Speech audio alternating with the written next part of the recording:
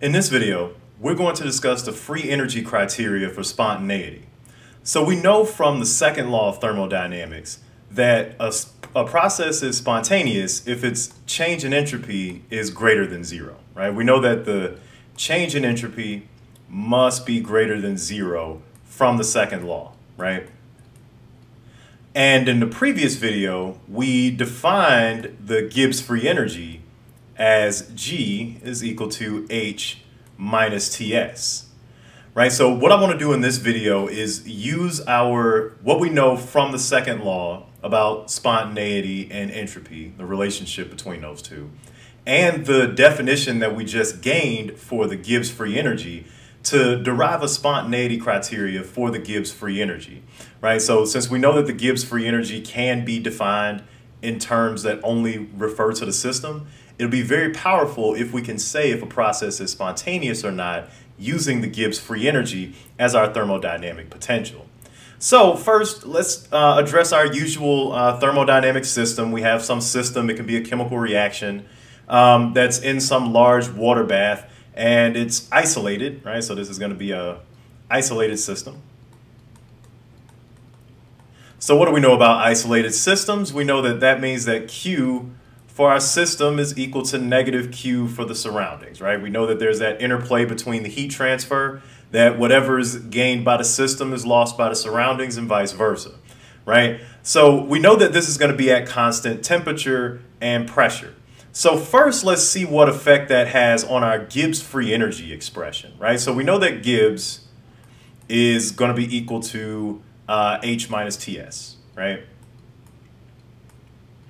we want to be uh, dealing with some sort of change in Gibbs free energy, right? We want to be able to say if there's this specific change in energy, then we know the process is spontaneous or not. So we're going to need a differential here.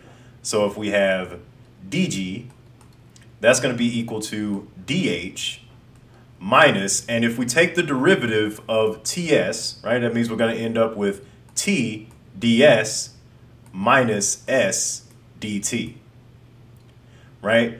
Now, thinking about our actual thermodynamic situation here, right? We're dealing with a system that's at constant temperature and pressure. So what does that mean for this differential? Right? Well, that means that this last term is just going to go away, right? Uh, since it's dealing with a change in temperature and we have no change in temperature, that guy's done. So since that guy goes away, then our total change in Gibbs is going to be equal to delta H minus T delta S. Right? And so the only challenge for us here is to see if we can express our delta H in terms of only properties of the system. And we've actually done this before, but I'm going to go through the nuts and bolts again, right? If, if we have some sort of, we know we have to evaluate the delta S of the universe, right? In order to, to get this criteria for spontaneity. So um, we know we need to evaluate the delta S for our system and our surroundings. Now the delta S for the surroundings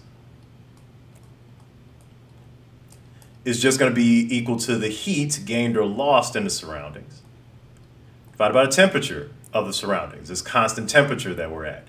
Now, using that definition uh, or this relationship, right, between Q sys and Q cert, right? We just say that we have the negative of Q system over the temperature. Right? And since we're at constant pressure, that means the constant pressure uh, heat transfer is just going to be equal to the enthalpy. So we have negative delta H of our system over T, right? So that's going to be our delta S for the surroundings right? Our delta S for the surroundings can be expressed in terms of the enthalpy of our system. So that means when we go to solve for delta S total, and I'll just use sub T for delta S total, so delta S sub T, right? Our delta S of the surroundings is this guy, so negative delta H sys over T plus the delta S of the system, right? So now what we've done here is we've expressed our total entropy change as only variables related to the system, right? So this is only related to the system. Okay, so it's only a function of the system properties only, right? Okay, so now when we uh, put in for delta S total, right? So we can uh, solve for delta S uh, total here, right? Just by, uh, or we can use our delta G equation um, in order to plug in here, right? So our delta S in the delta G equation is the delta S of the system. I'll add the subscript to make that a little bit more clear, but this is the delta S of the system, right? So what we can do here is if we divide this, uh, if we divide both sides by T, right, in this equation, let's do delta G over T is equal to delta H over T minus delta S right? So um, if you look at this, right, if we were to add a negative sign here, right, in fact, let's do that. So we both multiply both sides by negative 1, basically. Then this guy is the exact same as the right-hand side of this equation, right? Note that these two are exactly equal.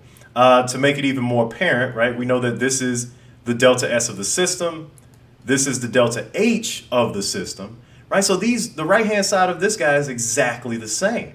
So what this does, this relates the Gibbs free energy to the total entropy, right? Keep in mind, when you're talking about the Gibbs free energy, it is defined in terms of the entropy of the system.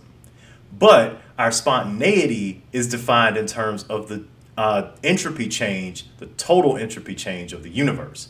So what we can do now, now that we have the same right-hand side here, we can set these guys equal. So let's do that. And I'll do that in a different color. So we're going to set these guys equal. Do that up here. Set equal. Right? So that means that the total entropy change is going to be equal to negative delta G over T. And now if we solve this guy for delta G, right, then what we end up with is just negative T delta S total. Right? So now let's look at this equation, right? We know that te the temperature is the absolute temperature. So that guy's going to always be positive. Now for delta S total, what is the scenario? We have to ask ourselves, what is the scenario where this would be a spontaneous process? And the answer is when delta S is greater than zero. So, what under what condition is delta G going to be a spontaneous process? It's going to be when delta G is negative, right? If this guy's positive for spontaneous change and we have this negative out front, delta G is spontaneous when it is less than zero. So this is the spontaneity criteria for delta G. right? That delta G must be less than zero for a process to be spontaneous. Now, like I said, the beauty of having this in our toolkit is that now we can solve, we can figure out whether something's spontaneous or not without having to evaluate what's going on in the surroundings. All we need to know is the delta G of our system, and we can say whether something is a spontaneous process or not.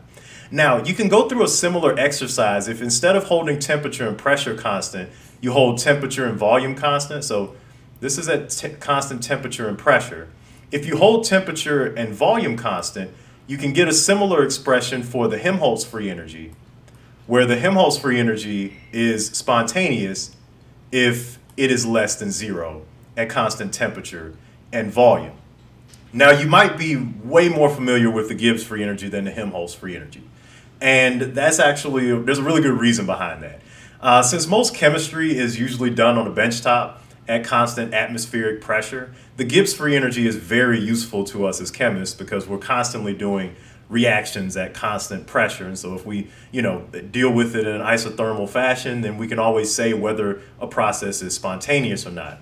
Helmholtz free energy, constant volume processes are less common in chemistry. Um, so you'll mostly see the Helmholtz free energy more in physics. But uh, the Gibbs free energy is extremely useful to us as chemists since it gives us something for a definition of constant pressure processes.